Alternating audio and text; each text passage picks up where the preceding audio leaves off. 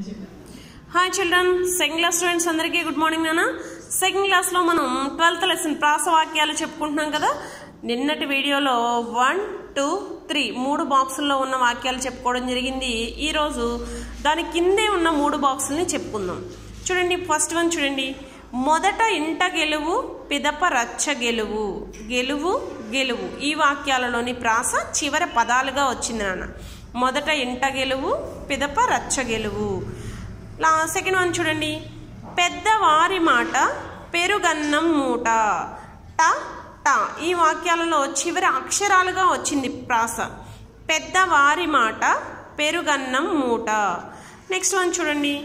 చదువు లేని మొద్దు కథల లేని ఎద్దు. ఇక్కడ కూడా అక్షరాలే వచ్చినాయి నాన్న చివర.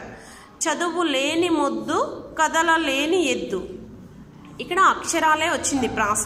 మొదటి వాక్యంలో పదాలు వచ్చినాయి రెండవ వాక్యంలో అక్షరం వచ్చింది మూడవ వాక్యంలో కూడా అక్షరం వచ్చింది నాన్న.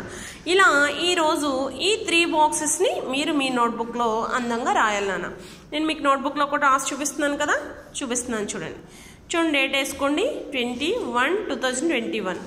చూడండి మొదట ఇంట గెలువు పిదప రచ్చ గెలువు. నిన్న ఎక్కడైతే రాసారో దాని కంటిన్యూషన్ రాసేయండి అమ్మ ఆన్లైన్ లీవ్ చేసుకుని. దాని కింద లైన్ లీవ్ చేసుకుని పెద్దవారి మాట పెరుగన్నం మూట. నెక్స్ట్ లైన్ లీవ్ చేసుకుని చదువు లేని మొద్దు పేస్ట్ ఆన్ చేసుకున్నాను. కథల లేని ఎద్దు.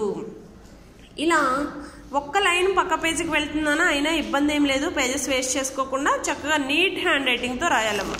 ఇలా మీరు ఈ త్రీ సెంటెన్సెస్ని నీట్ హ్యాండ్ రైటింగ్తో రాసి చక్కగా మొత్తం ఒకసారి రీకాల్ చేసుకోండి. ఎక్కడి నుంచి? నీతి తోడమెలగు నీకే జయం కలుగు. మాట తప్పవద్దు మంచి విడవవద్దు. మంచి విద్య చదువు మంచి బుద్ధి వదవు.